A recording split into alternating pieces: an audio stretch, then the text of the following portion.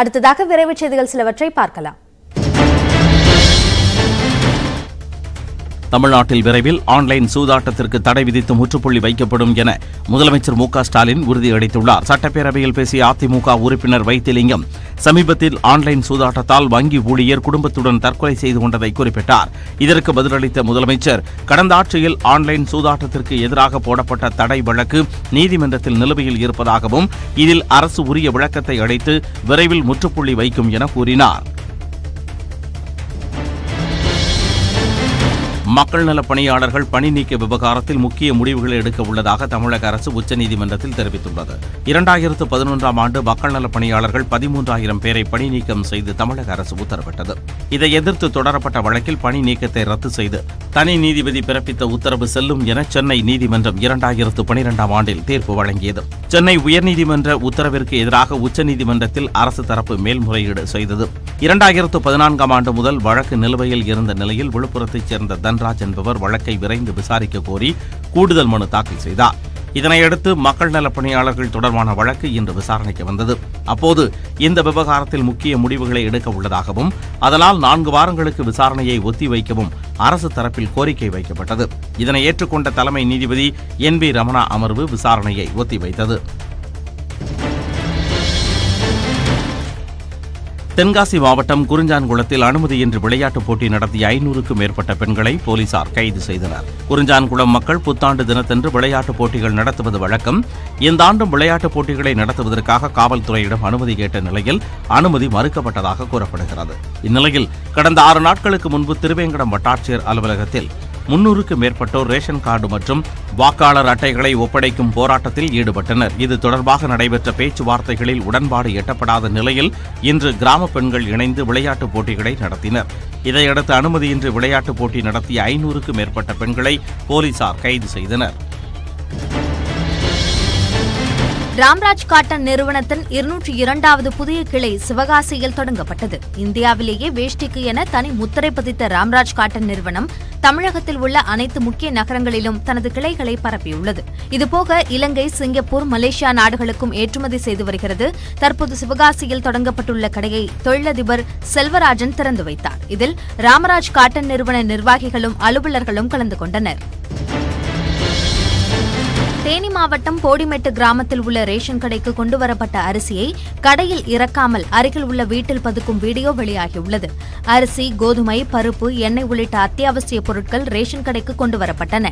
நூறு கிலோ எடையுள்ள மூட்டைகளை ரேஷன் கடையில் இறக்காமல் அருகில் உள்ள வீட்டில் சுமார் இருபது மூட்டைகளை விற்பனையாளர் மணிகண்டன் இறக்கிக் கொண்டிருந்தார். இதனை கண்ட பொதுமக்கள் அதனை வீடியோ எடுத்து சமூக வலைதளத்தில் பதிவிட்டனர். தற்போது இந்த வீடியோ வைரலாக பரவி வருகிறது. இது தொடர்பாக மாவட்ட ஆட்சியர் திடீர் ஆய்வு செய்ய வேண்டும் என பொதுமக்கள் கோரிக்கை வைத்துள்ளனர் பெட்ரோலிய பொருட்களுக்கு விதிக்கப்படும் மதிப்பு கூட்டு வரியை ரத்து செய்தால் ஜிஎஸ்டி வரம்பிற்குள் அதனை கொண்டுவர தயாராக இருப்பதாக நிதியமைச்சர் P T R Palanivel Thiagarajan தெரிவித்துள்ளார். சட்டப்பேரவையில் ஆளுநர் உரைக்கு நன்றி தெரிவிக்கும் தீர்மானத்தின் மீதான விவாதத்தில் பேசிய அதிமுக உறுப்பினர் வைத்திலிங்கம் பெட்ரோலிய பொருட்களை ஜிஎஸ்டி வரம்பிற்குள் கொண்டுவர நடவடிக்கை எடுக்க வேண்டும் என வலியுறுத்தினார். இதற்கு பதிலளித்த நிதியமைச்சர் P T R Palanivel Thiagarajan பெட்ரோலிய பொருட்கள் மீது மதிப்பு கூட்டு வரி விதிக்கப்படுவதால் லிட்டருக்கு முப்பது ரூபாய் மத்திய அரசுக்கு செலுத்தப்படுவதாகவும் மதிப்பு கூட்டு வரியை ரத்து செய்ய மத்திய அரசு ஒப்புக்கொண்டால் ஜிஎஸ்டி வரம்பிற்குள் பெட்ரோலிய பொருட்களை கொண்டுவர தமிழக அரசு தயாராக இருப்பதாகவும் தெரிவித்தார். கோவையில் புதிய குடிநீர் குழாய் பதிக்கப்பட்ட இடத்தில் ஏற்பட்ட திடீர் பள்ளத்தில் வாகனங்கள் சிக்கியதால் பரபரப்பு ஏற்பட்டது. கோவை மாவட்ட ஆட்சியர் அலுவலகத்திலிருந்து ரயில் நிலையம் வரையிலான சாலையில் பழைய குழாய்களை அகற்றிவிட்டு புதிய குழாய்கள் அமைக்கும் பணி நடைபெற்று வருகிறது. இதனால் போக்குவரத்து நிறுத்தப்பட்ட சாலையை கோபாலபுரம் பகுதியில் அமைந்துள்ள அலுவலகங்கள் மற்றும் கடைகளுக்கு வருவோர் வாகனங்களை நிறுத்துமிடமாக பயன்படுத்தி வருகின்றனர். இந்நிலையில் குழாய் பதிக்கப்பட்டு தற்காலிகமாக மூடப்பட்ட பகுதிகளில் சோதனை முயற்சியாக தண்ணீர் திறக்கப்பட்டது. அப்போது குழாயிலிருந்து தண்ணீர் வெளியேறியதால் தற்காலிகமாக மூடப்பட்ட மண் இழகி உள்வாங்கியது. இதனால் சாலையில் நிறுத்தப்பட்டிருந்த ஆட்டோ மற்றும் கார்களின் சக்கர சக்கரங்கள் பள்ளத்தில் சிக்கின. இதையடுத்து ஜேசிபி இயந்திரம் மூலம் கார் மீட்கப்பட்டது. மேல்மருவத்தூர் ஆதிபராசக்தி கோயிலுக்கு வந்த பக்தர்களின் வாகனங்கள் சாலையோரம் நிறுத்தப்பட்டதால் சென்னை திருச்சி நெடுஞ்சாலையில் ஐந்து கிலோமீட்டர் தொலைவுக்கு போக்குவரத்து நெரிசல் ஏற்பட்டது. தமிழகம் மட்டுமின்றி பிற மாநிலங்களில் இருந்தும் இந்த கோயிலுக்கு பக்தர்கள் மாலை அணிந்து இருமுடி கட்டி வணங்கிச் செல்வது வழக்கம். இவர்கள் டிசம்பர் மற்றும் ஜனவரி மாதங்களில் மருவத்தூர் வருவார்கள். இந்நிலையில் கொரோனாவை கட்டுப்படுத்தும் வகையில் தமிழகத்தில் உள்ள கோயில்களை வார இறுதி நாட்களில் மூட தமிழக அரசு உத்தரவிட்டுள்ளது. எனவே நாளை தரிசிக்க முடியாது என்பதால் ஏராளமானோர் அந்த கோயிலில் குவிந்தனர். ஒரே நேரத்தில் ஏராளமானோர் வந்ததால் கொரோனா பரவும் அபாயம் ஏற்பட்டுள்ளது. மதுரையில் உள்ள தேசிய கூட்டுறவு சர்க்கரை ஆலையை திறக்க விரைந்து நடவடிக்கை எடுக்க முதலமைச்சரை அதிமுக ஒருங்கிணைப்பாளர் ஓ பன்னீர்செல்வம் கேட்டுக் கொண்டுள்ளார். கடந்த இரண்டாயிரத்தி பத்தொன்பது இருபது இரண்டாயிரத்தி இருபது இருபத்தி ஒன்று ஆகிய ஆண்டுகளில் போதிய மழை இல்லாததாலும் கரும்பு அறவை செய்யப்படாததாலும் இந்த ஆலை மூடப்பட்டது. இந்த ஆலையை மீண்டும் இயக்குவதன் மூலம் பத்தாயிரம் கரும்பு விவசாயிகளும் ஐநூறு தொழிலாளர்கள் நேரடியாக பலனடைவார்கள் என்று ஓபிஎஸ் கேட்டுக்கொண்டுள்ளார் ஆலையை மீண்டும் இயக்க போதிய நிதியுதவியை அரசு அளிக்க வேண்டும் என்று விவசாயிகள் கோரிக்கையை ஓபிஎஸ் சுட்டிக்காட்டியுள்ளார். இந்த ஆலையில் பதிவு செய்யப்பட்ட அறுபதாயிரம் மற்றும் பதிவு செய்யப்படாத பதினேழாயிரம் டன் கரும்புகள் அரவைக்கு தயாராக உள்ளது குறிப்பிடத்தக்கது. நகர்ப்புற உள்ளாட்சி தேர்தலை அறிவிக்க எந்த தடையும் விதிக்கவில்லை என சென்னை உயர்நீதிமன்றம் தெளிவுபடுத்தியுள்ளது. சென்னை மாநகராட்சியில் மொத்தம் இருநூறு வார்டுகள் உள்ள நிலையில் அதில் பொது பிரிவினருக்கு நூற்று அறுபத்தி எட்டு இடங்கள் உள்ளன. இதில் பெண்களுக்கு எண்பத்து ஒன்பது இடங்களும் ஆண்களுக்கு எழுபத்து ஒன்பது இடங்களும் ஒதுக்கப்பட்டுள்ளன.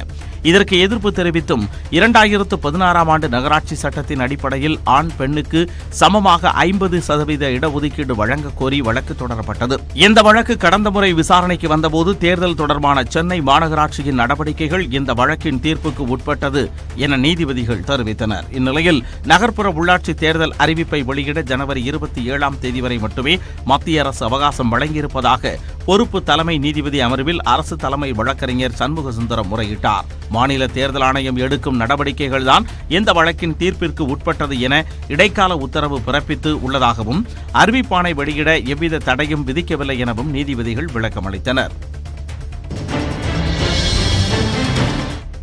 நாமக்கல் மாவட்டம் ராசிபுரம் அருகே கடந்த இருபது ஆண்டுகளுக்கு மேலாக ஆக்கிரமிக்கப்பட்டிருந்த நாற்பது கட்டடங்கள் இடிக்கப்பட்டன.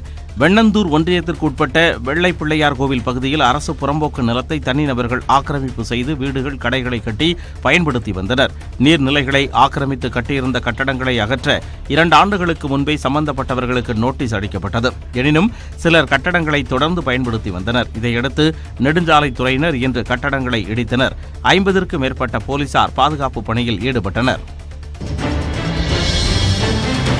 தென் தமிழக கடலோர மாவட்டங்களில் இன்றும் நாளையும் லேசான மழைக்கு வாய்ப்புள்ளதாக சென்னை வானிலை ஆய்வு மையம் அறிவித்துள்ளது. எட்டாம் தேதி தென் கடலோர மாவட்டங்களில் ஓரிரு இடங்களில் மிதமான மழை பெய்யக்கூடும் என தெரிவிக்கப்பட்டுள்ளது. சென்னையை பொறுத்தவரை அடுத்த நாற்பத்தி எட்டு மணி நேரத்திற்கு வானம் மேகமூட்டத்துடன் காணப்படும் என்றும் மேற்கு தொடர்ச்சி மலையை ஒட்டிய மாவட்டங்கள் மற்றும் உள் மாவட்டங்களில் லேசான பனிமூட்டம் நிலவும் எனவும் அறிவிக்கப்பட்டுள்ளது.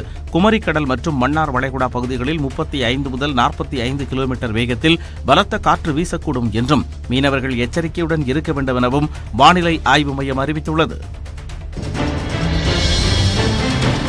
இத்தாலியிலிருந்து இந்தியா வந்த ஏர் இந்தியா விமானத்தில் நூற்றி இருபத்தைந்து பயணிகளுக்கு கொரோனா தொற்று உறுதி செய்யப்பட்டுள்ளது.